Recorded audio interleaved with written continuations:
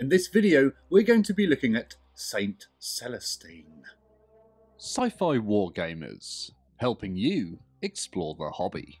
Greetings, hobby fans. My name's Marcel, and it's my mission to help you explore the hobby.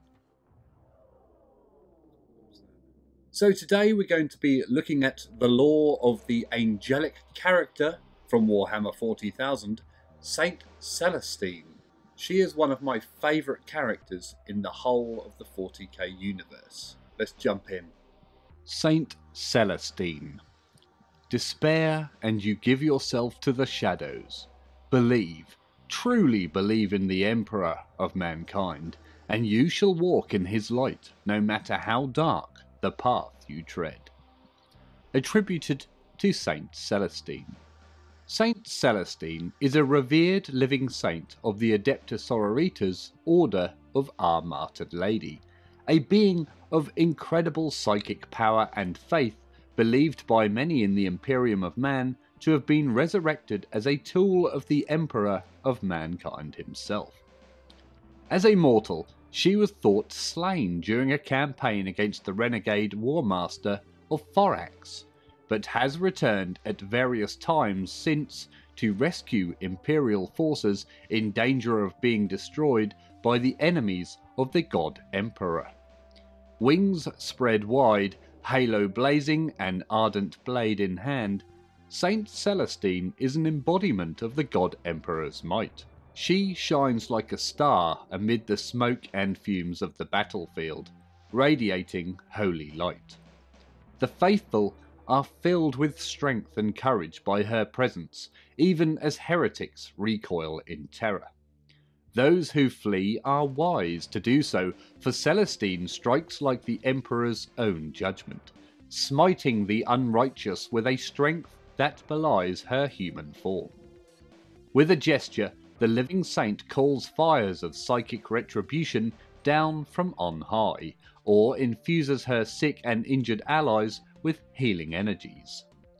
The Geminae Superia fight at her side, the former Sororitas Canonesses Genevieve and Eleanor. Hand chosen champions who would lay down their lives and have, several times, to protect the blessed saint from harm. Celestine is borne aloft on a column of divine radiance and sometimes attended by cherubs and doves.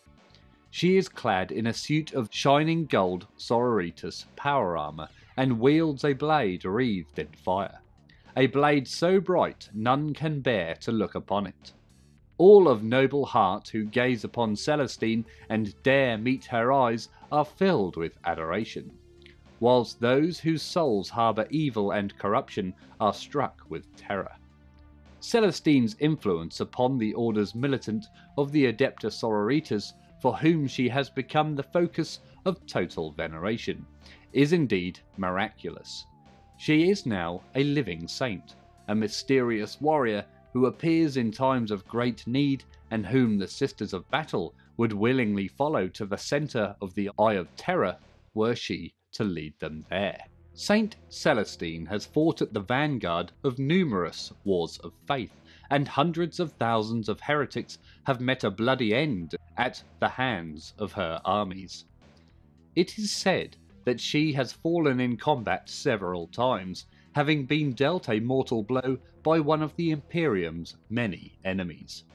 However, each and every time she has miraculously returned to life, rising like a phoenix from the ashes.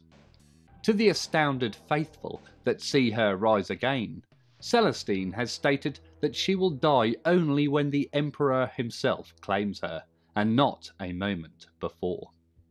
Celestine's most recent and greatest intervention came in 999 M41, when she appeared on Cadia as it was under assault by Abaddon the Despoiler's 13th Black Crusade. She brought crucial reinforcement to the Imperial defenders and became one of the leaders of the Imperial survivors, who named themselves the Celestinian Crusade in her honour, after Cadia was destroyed by the forces of the Despoiler. With the aid of the newborn faction of the Eldar, called the Ynnari, the Celestinian Crusade managed to flee the Cadia system through the webway to the realm of Ultramar and its capital world of Macragge. There, Celestine played an important role in the events that led to the resurrection of the Ultramarines Primarch Roboute Guilliman. Celestine joined the Terran Crusade that Guilliman proclaimed, and fought alongside it all the way to Holy Terra, so that the Primarch could meet with his father, the Emperor.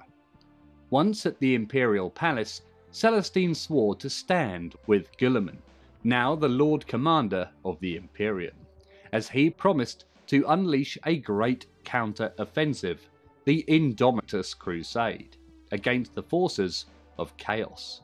Very little is known of the life of the battle sister known as Celestine before she was declared a living saint, other than that she was once a sister repentia of the Order of Our Martyred Lady that fought alongside the multitudes of imperial faithful during the protracted war against the heretics of the Palatine Schism. Celestine was at the forefront of the first wave of the deadliest fighting and was thought to have been killed in battle before the capital city of the planet Eurytion. She fell that day, alongside every other Repentia, but despite her defeat, it was said that she accounted for the deaths of over 100 schismatics during the assault. As Celestine's body was reclaimed by her sisters and set amongst the honoured dead, they saw that life still lingered within her, and the light of one touched by the divine will of the Emperor glowed within her eyes. Cleansing her body of the blood and filth of battle, the sisters were astonished to find that her body lay flawless before them. The next solar day the assault resumed, with Celestine at the head of the Imperial forces. The heretics fell within solar hours as Celestine wreaked her bloody vengeance. She was hailed as the Crusade's sacred figurehead as the entire sector was eventually scoured of schismatics and others deemed unworthy of existing within the realm of the Emperor of mankind. The Crusade's leader, Lord Militant Ansgar, believed the crusade would reach its conclusion on the capital world of the Palatine sector, but Celestine insisted upon first liberating the small backwater planet of Sanctus Lys. Unknown to all but her, that world was home to the shrine of Saint Catherine of the Order of the Fiery Heart, a holy place visited by that living saint in secret just before her death. Celestine's followers found a broken altar amidst some ruins and were ordered by Celestine to remove it. Beneath the shattered remains, a hidden crypt was found, barring any from following her Celestine descended the dusty steps that none had trod in millennia. As the dawn of first light broke above the ruined shrine, Celestine rose from the tomb, borne aloft on a column of divine radiance and attended by cherubs and doves. She was now clad in a suit of shining golden power armour, and wielded a vibrant blade that none could look upon, the Ardent Blade. After her apotheosis, Celestine was declared a living saint by Lord Ansgar and a conclave of Thorian ecclesiarchy priests shortly thereafter. Saint Celestine was hailed as the hieromartyr of the Palatine Crusade and praised for dispatching thousands of heretics at the vanguard of the imperial forces as she prosecuted numerous later wars of faith. Her presence invested the faithful with an unprecedented fervour, and hundreds of thousands of heretics met a fiery end at the hands of her armies. Many were fearful of her presence, for to stand before her was to submit to the judgment of one so pure in the eyes of the God Emperor, that her example could never be emulated. Her influence upon the Adepta Sororitas, for whom she became the focus of total veneration, was miraculous. She was a living saint, whom the sisters would follow even to the heart of the Eye of Terror. Alas, Saint Celestine was lost to the Imperium whilst fighting the renegade warmaster of Thorax. When the lunatic War Master triggered the meltdown of the ancient atomic pile at the heart of his fortress, an area many Terran miles across was blasted to ash. Many believed she perished during her moment of triumph, yet none survived to give a true account of the battle's conclusion. The mighty Tower of Heroes upon Sacred Terra told once to proclaim her loss to the faithful, a billion souls pausing in their toil and looking towards the Emperor's imperial palace, united in their grief for the fallen heroine of mankind. But the sororitas at prayer within the halls of the convent prioris were gladdened by the mournful peal, for they knew that had she fallen, Celestine was now sitting joyfully at the right hand of the Emperor. There are those amongst the faithful whom believe that Saint Celestine did not die all those centuries ago fighting against the War Master of Thorax, for there have been some confirmed sightings of the living saint throughout the ages. In one notable incident, during the Promethean War in 980 M41, the Order of the Ebon Chalice was sent to reinforce the Space Marines of the Salamanders chapter in a brutal urban war against the dreaded Chaos Space Marines of the Black Legion on the Cardinal world of Helotine. The enemy was put to the torch as dozens of Immolators and Land Raider Redeemers burned a path through the war torn cities. Despite the strength of their forces, the advance was halted when Lord Gralistix, the demon prince leading the forces of Chaos, unleashed a swarm of possessed Chaos Space Marines. As the frenzied chaotic horde ripped through the Imperial ranks, Battle Sisters and Space Marines alike fought back to back, their bolters and flamers blazing away as every warrior endeavoured to sell their life dearly. However, the Allied forces were saved by the miraculous intervention of Saint Celestine, as she appeared out of nowhere, falling upon the Chaos Horde like an avenging angel. The living saint carved a path through the horde towards Gralistix, before plunging her blade through his black heart.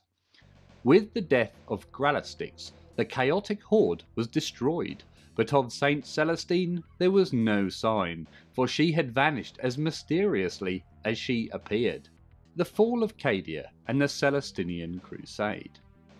As Abaddon the Despoilers, 13th Black Crusade raged on the fortress world of Cadia in 999 M41, Saint Celestine suddenly appeared once more claiming she had been resurrected by the will of the Emperor in the hour of his Imperium's greatest need.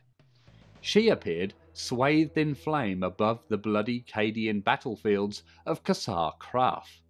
But she did not come alone, for she brought with her some five companies of battle sisters of the Order of Our Martyred Lady, thought lost in the warp some 1400 standard years before. Her radiant light had served as a beacon through the Empyrean, drawing the wounded vessel into the path of another Imperial craft and binding the two until real space claimed them both once more. With their arrival, the battle for Cadia shifted for a time in the Imperial defenders' favour. Celestine immediately engaged the demon prince Eucanthos with two canonesses of the Order of Our Martyred Lady he had recently slain. Celestine had used her power and their extraordinary faith to bring them back to life to serve as her honor guard. These were Genevieve and Eleanor, the living saint's Geminae superia. Together, the living saint and her reborn warriors slew the overconfident servant of the dark gods.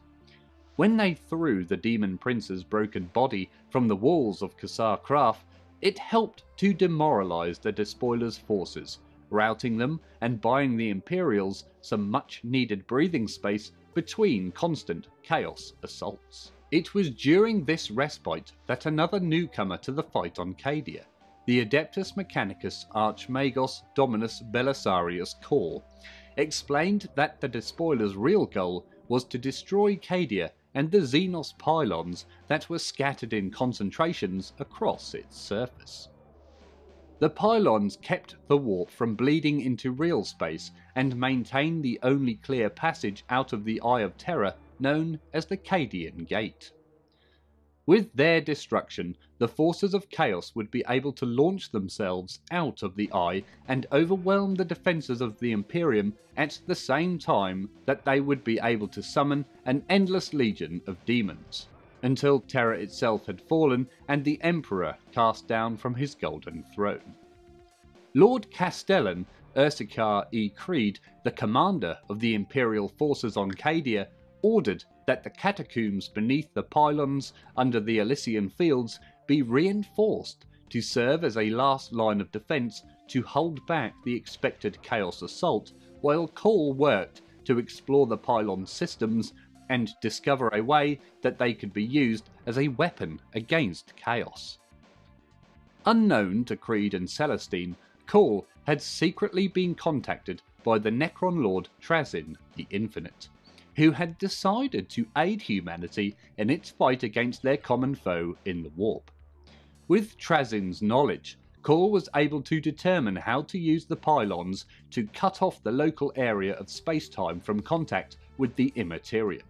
But as he worked, the arch enemy launched its expected assault against the catacombs, and Creed and Celestine led the defence. What was not expected was that Abaddon the Despoiler, frustrated beyond reason by Cadia's continuing defiance, led that assault himself. As the ground battle between the Despoiler's invaders and Ursarkar E. Creed's defenders reached its climax, Cawl activated the pylons. The Necron technology operated precisely as had been expected, cutting off Cadia from the warp, banishing the demons of chaos, and actually shrinking the Eye of Terror and giving Cadia's defenders a chance for yet another unlikely victory. However, the loss of access to the Immaterium also affected Celestine, whose own extraordinary powers of faith were also fueled by the psychic currents of the warp. Meeting the Despoiler head on, in her weakened form, she was defeated by the War Master of Chaos. Even as she sat at his feet, she promised him that mankind would one day be free of his vile masters. There is no freedom, was his only reply. But Celestine was saved at the last moment when the Inquisitor Catarina Greyfax of the Ordo Hereticus, recently freed from one of Trazyn's Tesseract labyrinths, psychically assaulted Abaddon, forcing the despoiler to back away. Before he could resume his advance, the pylon's strike upon the Immaterium intensified, banishing the despoiler's demons and weakening his forces. A massed attack on the despoiler by Creed and his 8th Cadian Regiment of Cadian shock troops failed when Abaddon and his Chaos Terminators broke the charge and badly wounded Creed severing one of his arms. But just as the despoiler moved to put an end to the Lord Castellan by cracking his spine, Celestine, though much diminished, managed to stab him from behind with the ardent blade. The Emperor protects, Celestine promised the wounded despoiler. Abaddon lurched away from Celestine, her blade ripping free of his flesh. It had been millennia since he last had been so wounded, and his spirit boiled with vengeance. But as the remaining troops of the Cadian 8th surged to reclaim their beloved general, Abaddon realized he had no time for the luxury of pride. The last vestiges of the warp were retreating before the pylon's arcane energies. If he were to depart, it would have to be now. Reluctantly, his eyes never leaving Celestine's, Abaddon gave the order to withdraw. As his flagship's teleport anchors engaged, the honourable warrior Ezekiel Abaddon had once been so long before acknowledged the feat Cadia's defenders had managed. They had lost, though they did not yet know it, but they had also won. He had sought to break Cadia's spirit and send the vanquished souls of its garrisons screaming into the warp. He had not done so.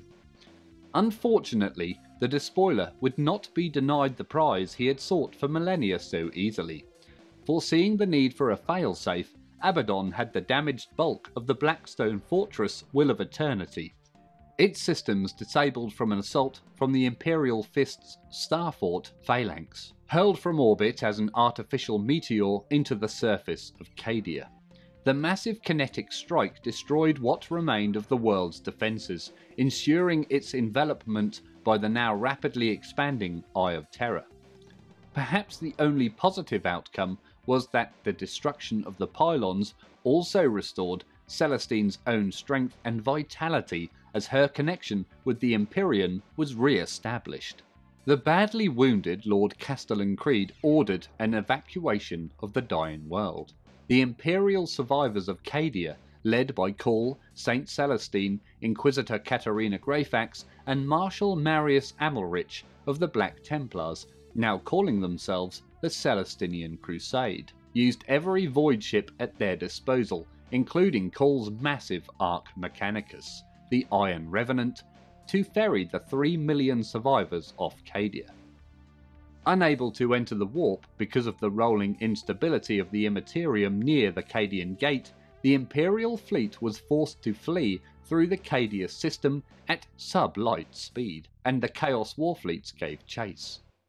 The largest and most powerful remaining Imperial capital ship, Cawl's Iron Revenant, heroically sacrificed itself in battle against Abaddon's flagship, the Vengeful Spirit, so that the Celestinian Crusade could escape to Clysus, the nearby ice moon of the world of Castle Holm. It was Celestine who explained that she had experienced a precognitive vision that their salvation and that of the Imperium itself lay on that barren, frigid planetoid. Celestine's vision proved prophetic, for the surviving Celestinians were rescued from chaos attacks and the unforgiven Arctic environment at the last by the arrival of the Ynnari through Clysus's hidden webway gate. Though his flagship was lost, Belisarius Cawl had rescued its most precious cargo, the armour of fate, key to the resurrection of the Primarch Roboute Guilliman. The Terran Crusade. The reborn Eldar guided the Celestinians through the webway to the realm of Ultramar in the eastern fringes of the galaxy, now also under ferocious assault by the forces of the Despoiler. After some initial distrust, the Celestinians were ultimately taken by the Ultramarines, who called Ultramar home to the realm's capital world of Macragge. Once in the Ultramarines' fortress of Hera, Cawl revealed the identity of the artifacts in his accompanying auto reliquary. He declared that they were intended to resurrect Primarch Roboute Guilliman from the mortal wound that had seen him trapped in stasis in the Temple of Correction for the last 10 millennia. While the Celestinians and the Ultramarines were under potent assault by the forces of chaos within the Primarch's final resting place, Cawl worked with Yvraine, the daughter of Shades and priestess of Ynnead, the Eldar god of the dead, to restore the Primarch's life force while Cawl's technology healed his grievous wound. The resurrection of the Primarch was held to be a miracle brought about by the will of the Emperor. Celestine's unrelenting faith in the Master of Mankind had been spectacularly rewarded, and this resulted in the end of the rift that had existed between her and the Puritan Inquisitor Greyfax, who had believed the living saint to be a fraud and dupe of chaos. But the return of a living Primarch, one of the Emperor's own sons, revealed the depth of Greyfax's own errors of faith. She, too, now came to believe that Celestine was a true servant of the Emperor and instrument of his will. With Guilliman resurrected, he drove the invaders from Ultramar before deciding to make his way to Terra through the warp anomalies roiling the galaxy to an extent not seen since the Horus Heresy. Celestine joined the Primarch on this Terran crusade. Her combat prowess and unwavering faith aiding the imperial forces of the Crusade in all their trials and tribulations in the warp rift known as the Maelstrom. More than once, when trapped in the Maelstrom, the imperial ships were forced to fight off opportunist raids by sleek hunting packs of traitor warships. Amidst a thousand mile wide cloud of corrosive spores, the Terran Crusade ships found themselves beset by swarms of vast plague flies as large as frigates. The monstrous insects took a savage toll upon the smaller ships of the Crusade until Celestine took to the navigator's observation blister of the Ultramarines flagship Macragge's Honour. Unleashing her holy light in a blazing psychic shockwave, the living saint purged the hideous demon beasts from the void. The survivors of the Terran Crusade finally arrived in the Sol system at Luna through the webway after being freed from imprisonment in another Blackstone fortress belonging to the Red Corsairs. Following the Crusade's rescue by the fallen angel Cypher and a troop of Harlequins, Celestine was one of the few Imperials present at the fall of Cadia to survive both the Celestinian and Terran Crusades. After aiding in the defeat of the forces of the Thousand Suns Traitor Legion and the demon Primarch Magnus the Red on Luna, Celestine and her allies were finally ferried to the Imperial Palace on Terra. There, before the Eternity Gate of the Inner Palace, leading to the throne room of the Emperor, where Guilliman would meet his father for the first time in ten standard millennia.